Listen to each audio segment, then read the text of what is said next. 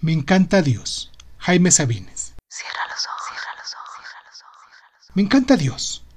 Es un viejo magnífico que no se toma en serio. A él le gusta jugar y juega. A veces se le pasa la mano y nos rompe una pierna y nos aplasta definitivamente. Pero esto sucede porque es un poco cegatón y bastante torpe de las manos.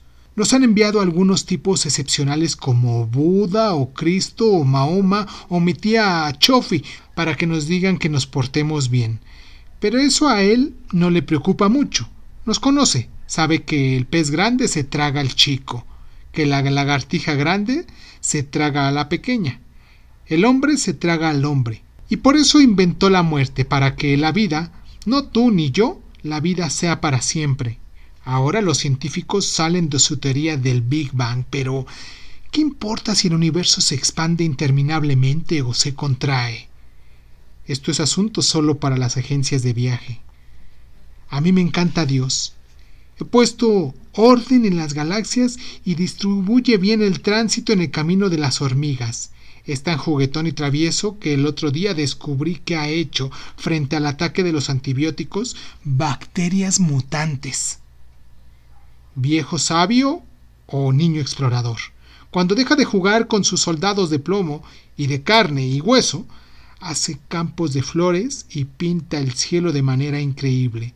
Mueve una mano y hace el mar, mueve la otra y hace el bosque. Y cuando pasa por encima de nosotros, quedan las nubes pedazos de su aliento.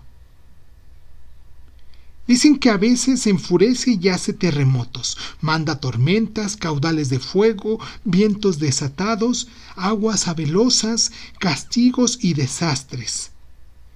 Pero eso es mentira. Es la tierra que cambia y se agita y crece cuando Dios se aleja. Dios siempre está de buen humor.